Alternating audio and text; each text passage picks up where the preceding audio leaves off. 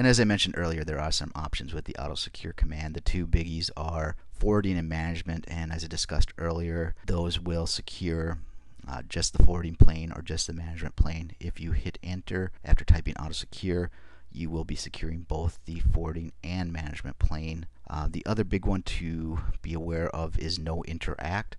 What that's going to do is if you issue auto secure no interact, you won't get the auto secure dialog. Um, basically, you'll issue that command. Cisco will go ahead and say, all right, you're telling me that I don't need any uh, input from you. Let me go ahead and turn off these features. So it, it does the configuration right away with no input from you. Uh, firewall full and all that stuff, that's going to be um, addressed in a different video. And depending on what code and platform you're running, you might not see these, but that's outside the scope of today's lesson. And here we go, we can see the uh, auto secure dialog. So on R2 we've issued the auto secure command with no options, so we're securing both the management and the forwarding plane. And it'll give you this um, dialog.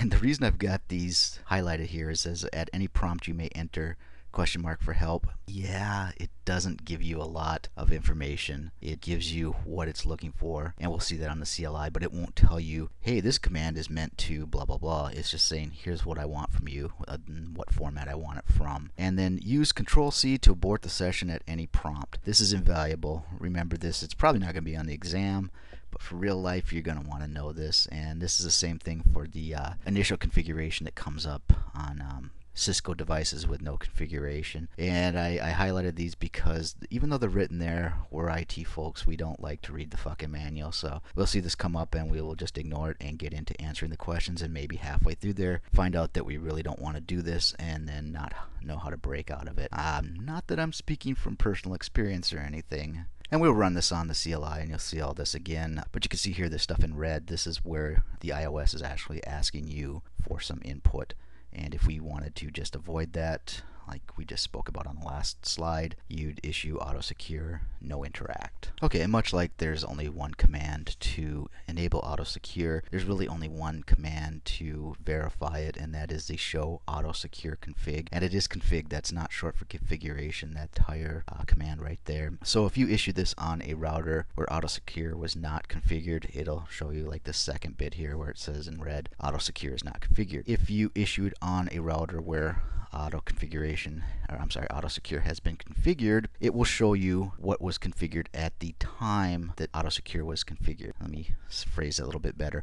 It will show you the configuration commands that were implemented by, by AutoSecure. It's truncated here, but it's generally going to be quite the list. We'll see this on the command line. Keep this in mind for real world that this does not show you how the router is actually configured at this time. So for instance, if you issue auto secure and uh, it, it issues the no CDP run command and you say, well, you know what, I do want CDP running on here. Let me go into uh, global configuration mode and issue CDP run. And then you go back later and do a show auto secure config. It's still going to show no CDP run because it's not showing the part of the configuration that was entered by AutoSecure. It's showing you the list of commands that AutoSecure issued when it was uh, invoked. Hopefully that made sense. Um, maybe when in the CLI make a little more sense. It's nothing I think you need to know for exam, just for real world that uh, you might get conflicting output where you think, oh well, CDP's not running, and then you find out that it actually is. Okay, auto secure rollback. I had to dig quite a bit to find um, information on this. I was in the Cisco documentation, and it kept mentioning stuff about you know auto secure rollback, which to me sounded like you could issue the auto secure command. Um, it would implement all these changes to your running config. Then if you were like, oh man, I just made a big boo boo, that there was a rollback command, and it even says here in manual mode, the user simply issues the standard CLI rollback command and the rollback process will be initiated. To me, that meant that it would go ahead and take off any of the configuration that it had thrown on there for the um, auto secure feature.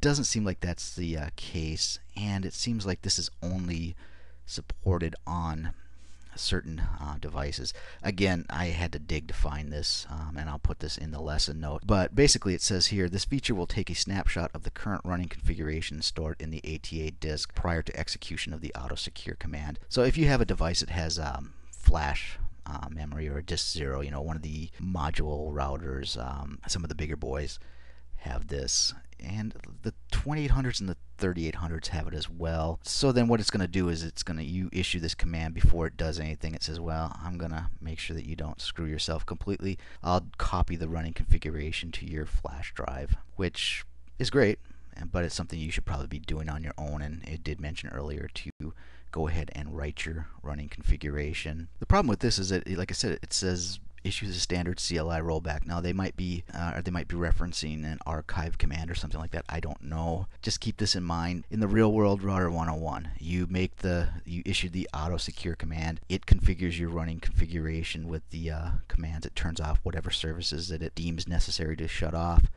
Don't write your configuration. Don't do a copy run start right away.